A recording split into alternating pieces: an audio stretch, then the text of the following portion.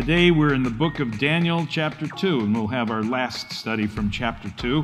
And so, uh, if you'll turn in your Bibles to Daniel chapter 2 and stand with me, I'm going to read a couple of verses in the middle of the chapter and then uh, conclude with the rest of the chapter, beginning at th- verse 34 of Daniel chapter 2. You watched while a stone was cut out without hands, which struck the image on its feet of iron and clay and broke them in pieces. Then the iron, the clay, the bronze, the silver, and the gold were crushed together, became like chaff from the summer threshing floors. The wind carried them away so that no trace of them was found.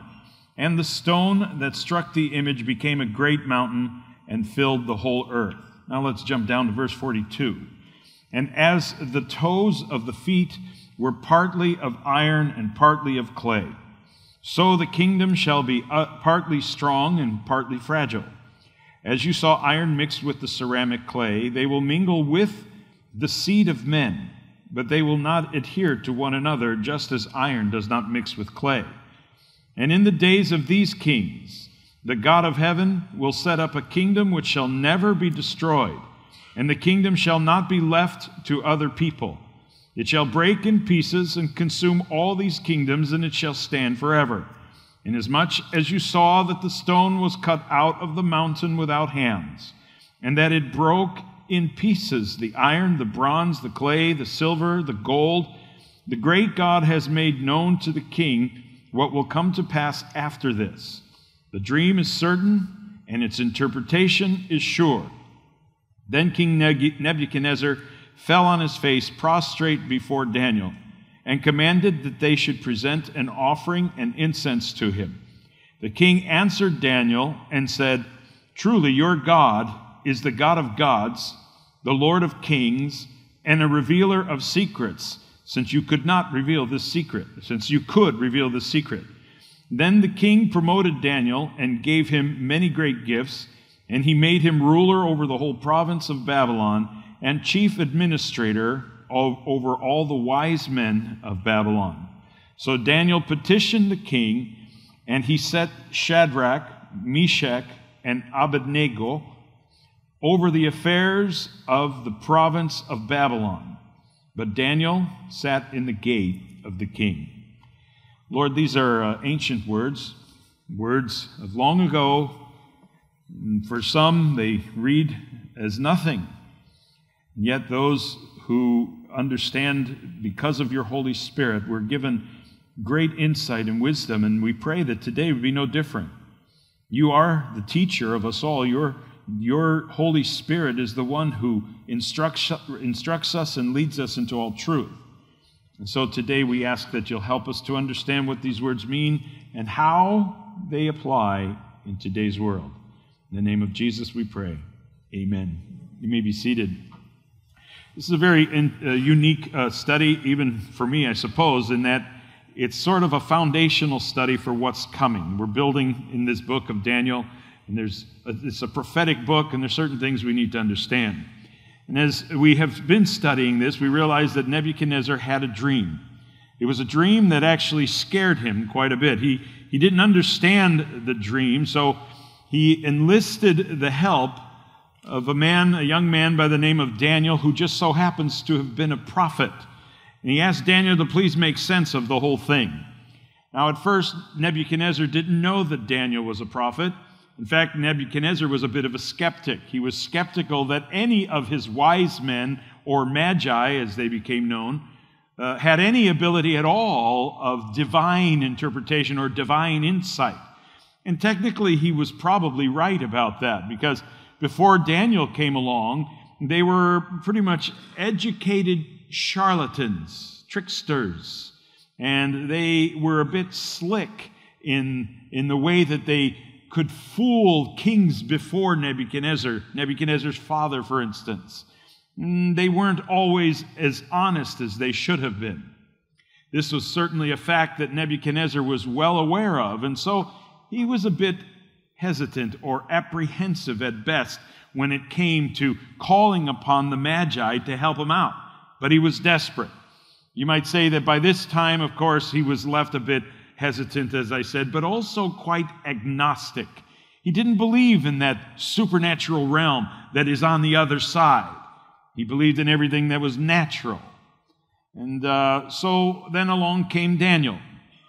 Daniel, who by means of divine revelation, supernatural prophecy, introduced Nebuchadnezzar to the true and the living God, the one that had eluded Nebuchadnezzar this whole time. This began an incredible journey of faith that actually changed the king's mind and ultimately would change the king's heart. Nebuchadnezzar dreamed a dream. He dreamed a dream that he didn't remember, and he dreamed a dream that he couldn't even understand. And so Daniel was asked to step in to interpret the dream for him. But that was really all the information that the king was able to give to Daniel. And all that Daniel knew was that the king had a scary dream, and if he didn't interpret it, he would be killed. Tough. No pressure, I suppose. The only way that these details of the dream could have been known by anyone was if God Himself were to somehow supernaturally reveal the details of the dream to him, which is exactly what, what God did. He revealed the dream details to Daniel and went the next step and explained what those details meant. Daniel, then, like any good prophet would do, simply passed along the information to Nebuchadnezzar. Now, the prophetic dream revealed an impressive image of a man. These, this image of the man represented a succession of kingdoms that were to rule the known world up until the end of time. That was the interpretation of the image that Daniel saw. Now, the head of gold, that this image had a head of gold, and the head of gold represented the kingdom of Babylon and King Nebuchadnezzar specifically. And then this image had a chest and arms of silver, which represented the kingdom of the Medes and Persians, who were yet to come onto the scene when Nebuchadnezzar dreamed the dream. Then there was the belly and thighs of brass, which was to be the kingdom of Greece that was, that was to come. And the image also had legs that were made of iron, which represented the Roman Empire. Now, this dream by itself would have been interesting enough, except that history confirms that this is exactly how the chain of kingdoms went down, and it's very well documented throughout history. So that then brings us to the last part of this great image in verse 33 the feet partly of iron and partly of clay. Now, the question that we're left with is what kingdom in history would best fit this piece of the puzzle? And the answer to that is no kingdom that we know of fits this part of the puzzle which tells us that this is probably a kingdom which is yet future. Now, some have offered good suggestions as to who this kingdom might become or who this kingdom might be. But what has prophecy buffs curious is this specific mention of toes, which we can only assume there are 10 of them on a normal human's foot, or the feet are 10 toes. In verse 41, Daniel said, Whereas you saw the feet and toes, partly of potter's clay, partly of iron, the kingdom shall be divided. Thus, the image of the ten toes.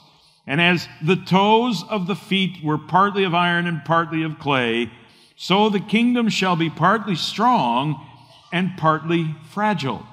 So, the question is again, are these toes significant? And of course, uh, should we assume that there are 10 toes? Who do they represent? Who might they represent? Well, most scholars agree that these toes refer to a confederation of 10 nations, which are going to join together to form a stronger union. Now, these uh, experts suggest that it's got to do with some future arrangement of what they call a revived Roman Empire, as the, the presence of the iron mixed with the clay. The iron represents the Roman Empire. So, since there's iron mixed with the clay, somehow this nation has got to have some form of Roman influence in it. And that's the idea, that's the, the conjecture by the experts. It curiously today might resemble something like what we know as the European Union. The European Union, which was founded in 1957, at that time they called it the European Economic Community. In fact, when I moved to Europe in 1992, the Economic Community was still a prevalent uh, uh, organization. It was still there, still operating, until uh, about 1993 when uh, the European Union was formed, and then they sort of absorbed and merged with the European Economic Community. They became one. At the time when they were formed 1957, there were six member states, so six toes, if you will, if you want to look at it that way. Well, t- today uh, there are 27 of them. 28 if you still count England. England, of course, has recently dropped out. Now, that's a problem, of course, for prophecy experts because the European Union uh, currently represents a coalition of, of 27, 28 nations, which is far too many uh, to fulfill the prophetic details of Nebuchadnezzar's image which, of course, we assume has 10 toes, as any normal pair of human feet has 10 toes. Therefore, the experts would prefer to see 10 nations making up this union. But if the uh, Brexit vote has taught us anything, we have learned that the number of European nations is capable of changing at any time. Now, there are 50 European nations currently on the continent, and 28 of them, minus England, actually are part of the European Union. Many of them have already made application to join the European Union, which could bring the number up. But at the same time, in light of England's recent vote, a few member states are currently rethinking their, their present status in the European Union and may drop out. So the number is fluctuating. And so, whether this fits the prophetic picture or not, not everyone is sure anymore. So, instead of a European Union, some have suggested a global union, a union that divides the entire earth, the entire globe, into 10 economic unions. And interestingly enough, I read a book years ago entitled En, en route to Global Occupation. The author, Gary H. Kah, perhaps you've heard of it. It was written in 1991. it's a, a, a, very interesting book. And uh, it floated, the author floats this idea of a global union as opposed to a European union being the, the earth's new kingdom.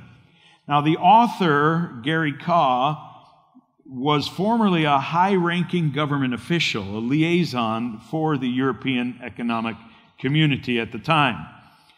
He claimed to have special inside information and that this global union was not just some crazy idea, but that it was already in the works back in 1991, although it was done secretly. Uh, it was a little bit at the time, a little bit too. Uh, conspiracy for me. Uh, but at the time, mm, in that day and age, the world was not ready for a global community back in 1991. I think you realize now that with all the talk that's going on today, the world is becoming more and more ready for global unification. Now, some of us kind of look at the administration in America right now and we're wondering, what in the world are they doing? We see some decisions they make, some moves that they make, and it puzzles us. But when you look at their, their decisions in light of this idea of global unification, it sort of makes more sense why governments are moving and thinking in the way that they're thinking. Because we have, or we are, and have been on a course toward global unification, and it can't, it seems as if it can't be avoided. And if that's the case, we sort of might want to rethink things on how we position ourselves.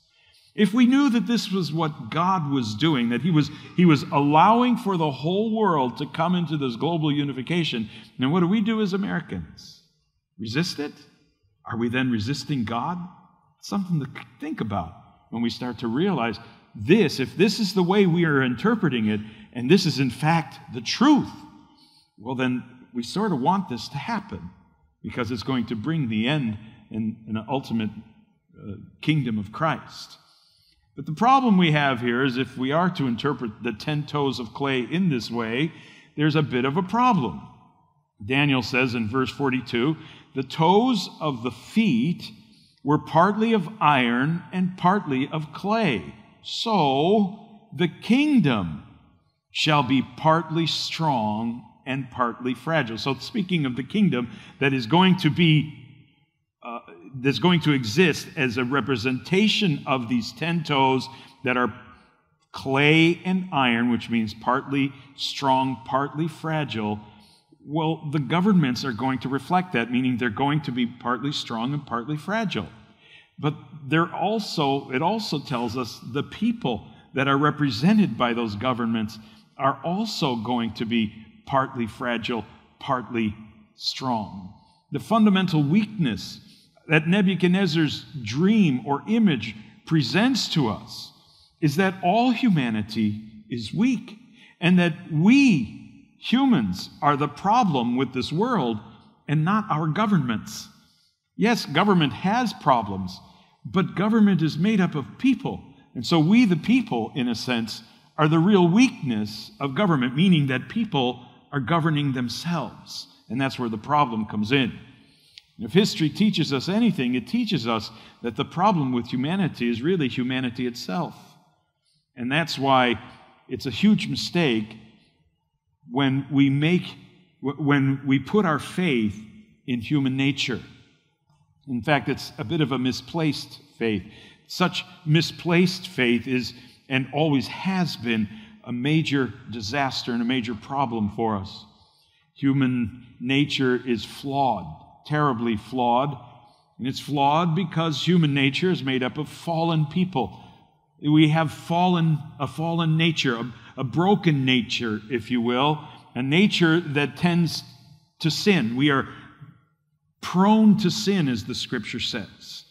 We're prone to it. And because of that, we can't really rightly govern ourselves in true righteousness because we're, we're so unrighteous in our ways. Nevertheless, we seem to always make that same mistake of putting our trust in humans or in human nature, which, if you think about it, in so many ways, it's so, so idolatrous. And that we think to ourselves that we don't need God. That, that really was the part of the problem with King Nebuchadnezzar. The king of Babylon was a, a humanist, you might say, in that he viewed himself as the God over his kingdom and really the center of his world, which, of course, is the basic belief of, of secular humanism.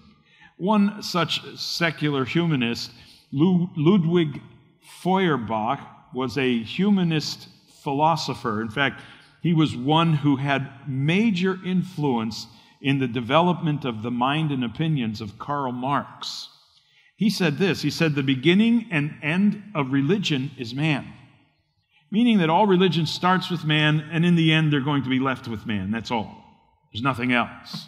So it's not surprising that Karl Marx grew up to be an atheist.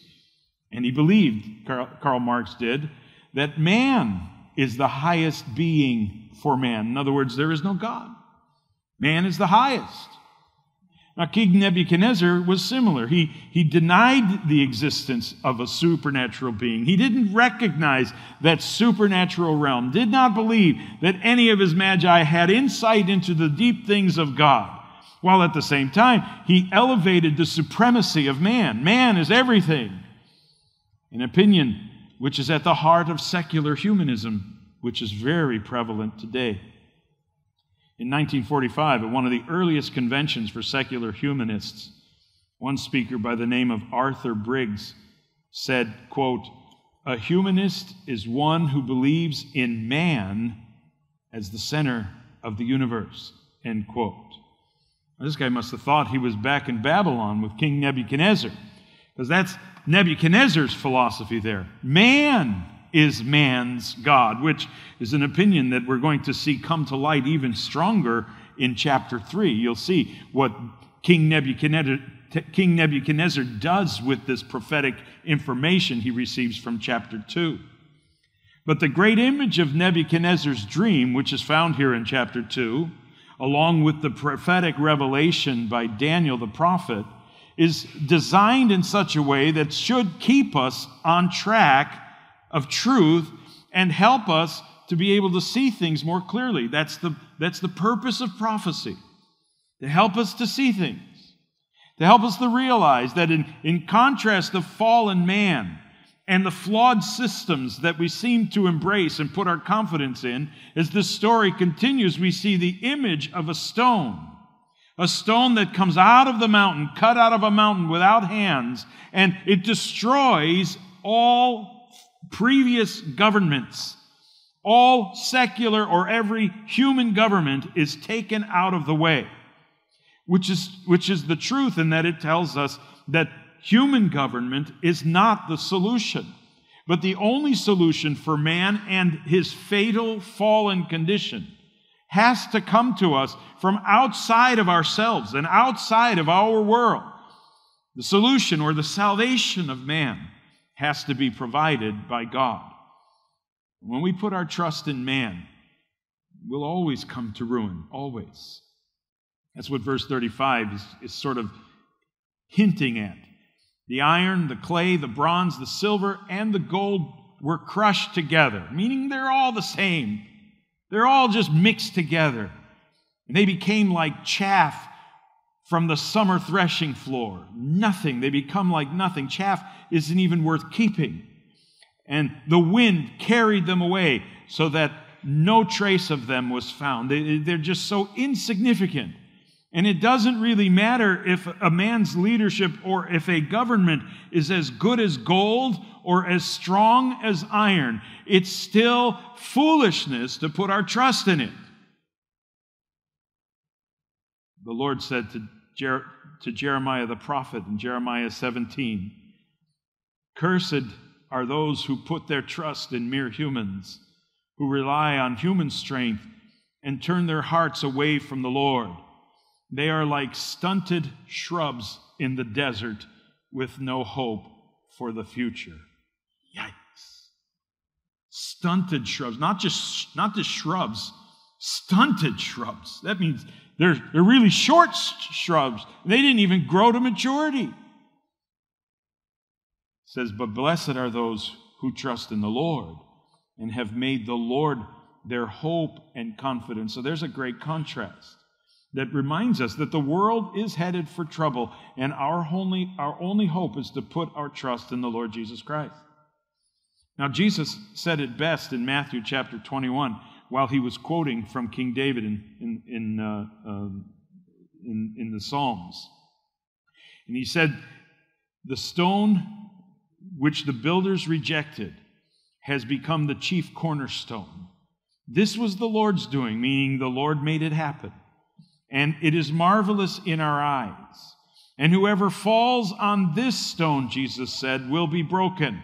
But, how, uh, but on whomever it falls, whomever the stone falls, it's going to grind him to powder.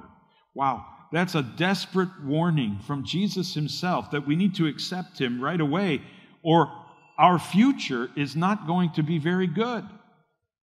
In John chapter 18, Jesus explains to us why the future is not going to be good. In verse 18 of, of John chapter 3, Jesus said, He who believes in me is not condemned, but he who does not believe is already condemned because he has not believed in the name of the only begotten Son of God. See, Jesus already knew the condition of man, the fallen condition of man. Jesus came knowing that all men were condemned to eternal damnation. We are already damned. That was the problem with man. So Jesus came to save us from eternal damnation, not to send us to hell. We were already going there. He came to save us from that. And so rejecting him or denying his existence is not a good idea at all. It will leave us with a very bad future. You'll notice also in Matthew 21, as Jesus referred to himself as the stone, the stone which the builders rejected.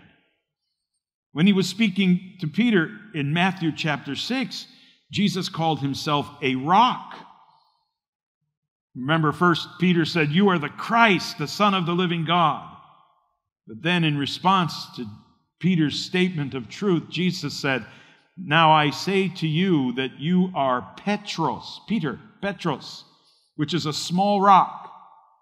And upon this Petra, which is a large stone, a large stone that might even be a side of a mountain, this cliff. In fact, where Jesus says this in Caesarea Philippi, we're going to be there in a few weeks when we're in Israel. We're going to stop and visit this place. I love this place because this is where Jesus said these words You are Petros, and upon this Petra, the side of a mountain, a cliff mountain, gigantic place. And I could see Jesus holding a stone and says, You are this stone. I am that mountain right there. That was the contrast. And upon that mountain, upon this truth, it's a mountain of truth, I'm going to build my church. You confess that I am the Christ. That is the foundation stone of the Christian faith, that Jesus is the Christ, the Messiah, the anointed one. He said, I will build my church there. Now, here are these mentions of stone, the mentions of stone, the mention of rock. Doesn't that take you back to the image of Nebuchadnezzar's dream? In verse 34 of our text, you watched while a stone was cut out without hands. It struck the image on its feet of iron and clay, which indicates the timing that these, this image will be struck. In the timing of that last nation or that last kingdom made of ten toes, the union of nations that is partly strong and partly weak. This stone that struck the image became a great mountain and filled the whole earth. And inasmuch as you saw that the stone was cut out of the mountain without hands, and it broke in pieces the iron, the bronze, the clay, the silver, and the gold. No doubt we can see this connection, the connection of these, these references to the stone. That Christ, the rock, Jesus is the stone. A stone that was cut without hands, meaning it was not formed, it was not contrived, it was not devised by human means, was not devised by men of any kind, wasn't even influenced by man in any way. Even, you remember at the, the announcement of Jesus' birth, the angel Gabriel said to Mary, Do not be afraid, Mary, for you will conceive in your womb and bring forth a son you shall call his name Jesus. He will be great. He will be called the Son of the Highest. And the Lord will give him the throne of his father David.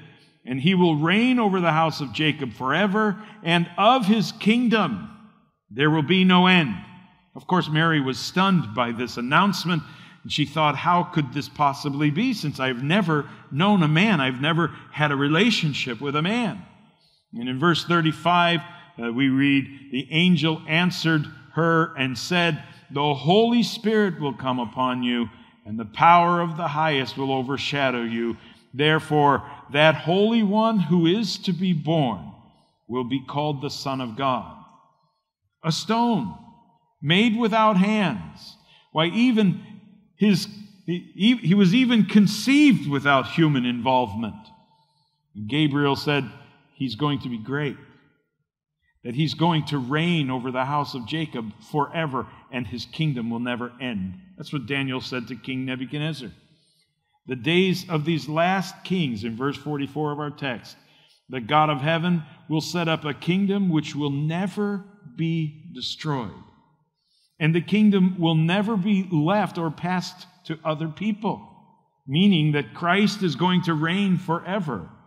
And it shall break in pieces and consume all these kingdoms, all human kingdoms, all human governments, all human rule will be no more. It shall be, and it shall stand forever. Christ's kingdom will.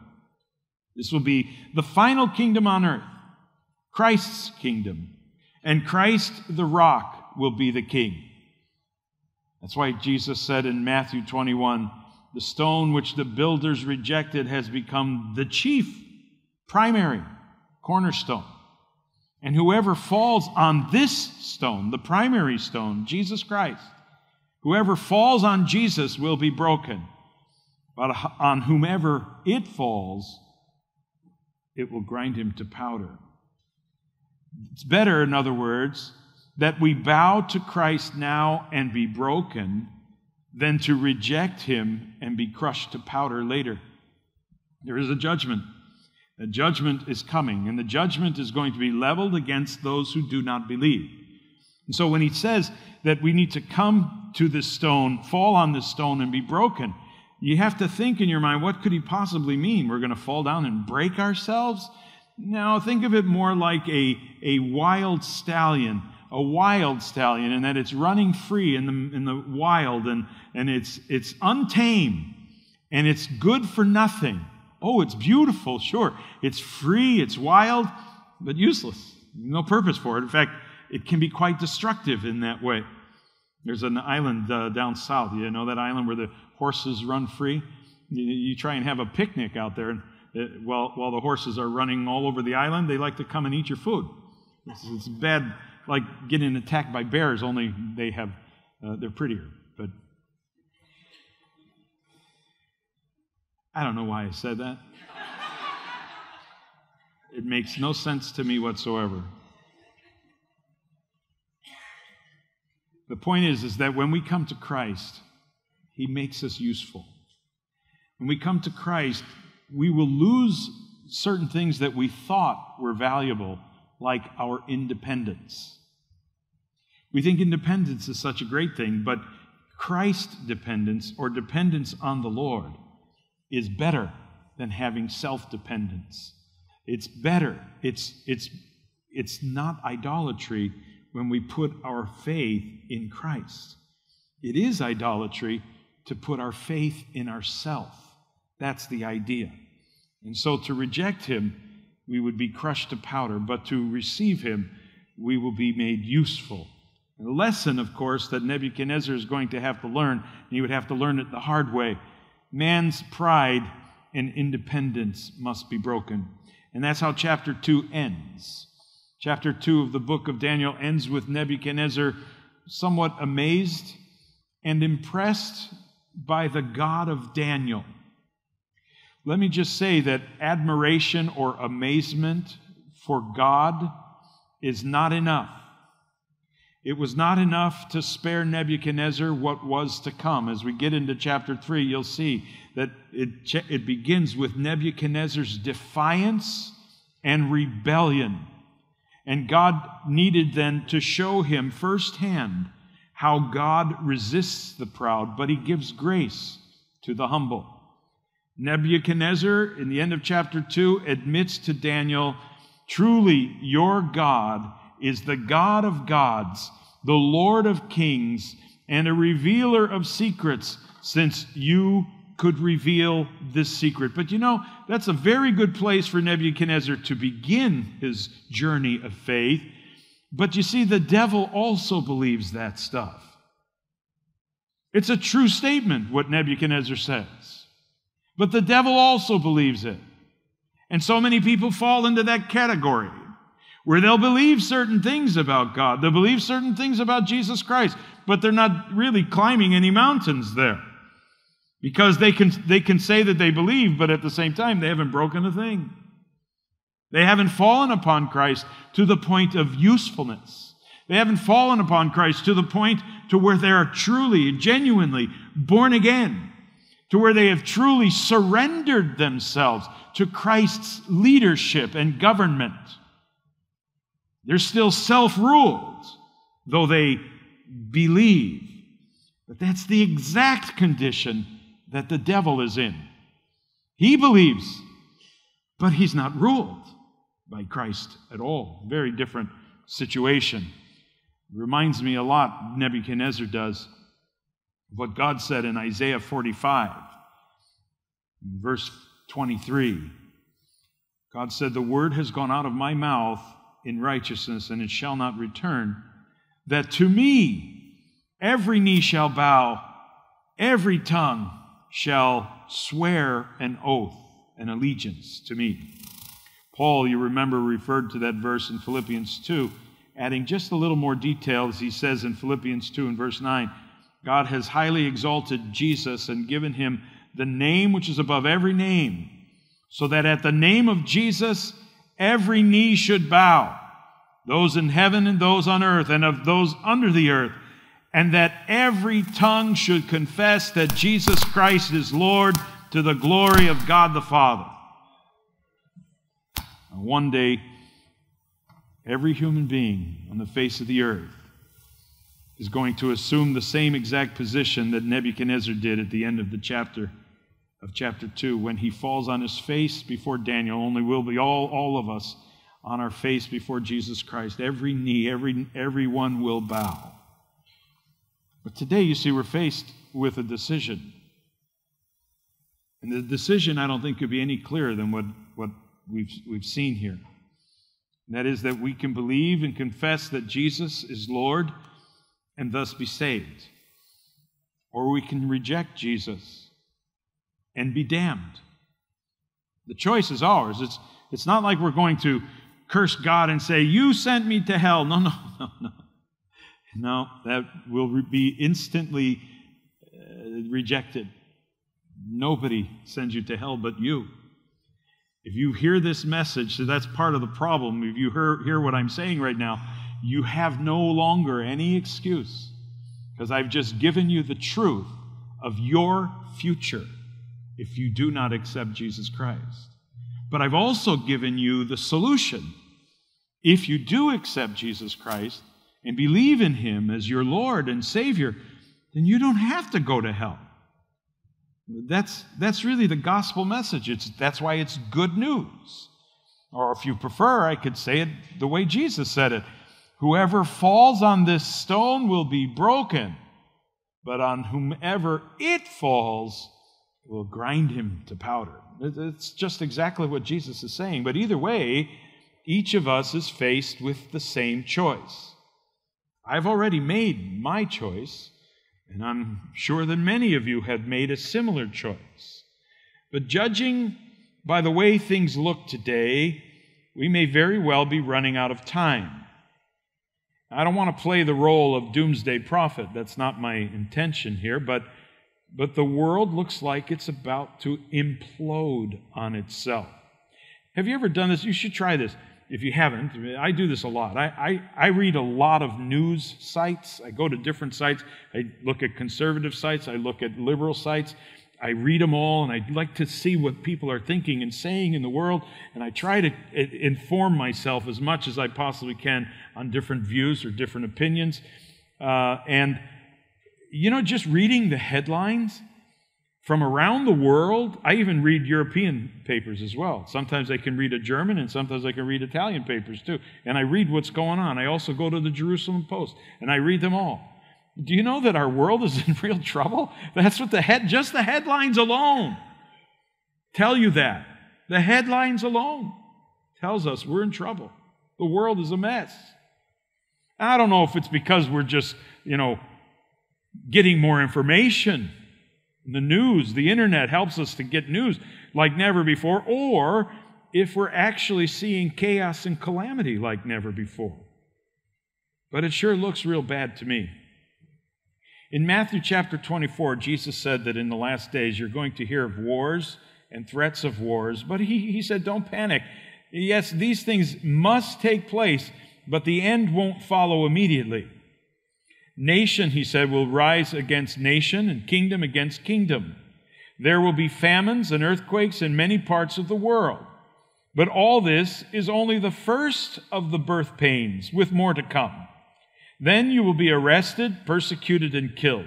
You will be hated all over the world because you are my followers.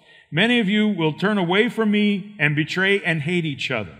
Many false prophets will appear and will deceive many people. Sin will be rampant everywhere, and the love of many uh, will grow cold and non existent. But the one who endures to the end will be saved. In Luke 21, he adds a little more detail, saying, And then everyone will see the Son of Man coming on a cloud with power and great glory. This, by the way, is the stone that is cut out of the mountain, just said in a different way.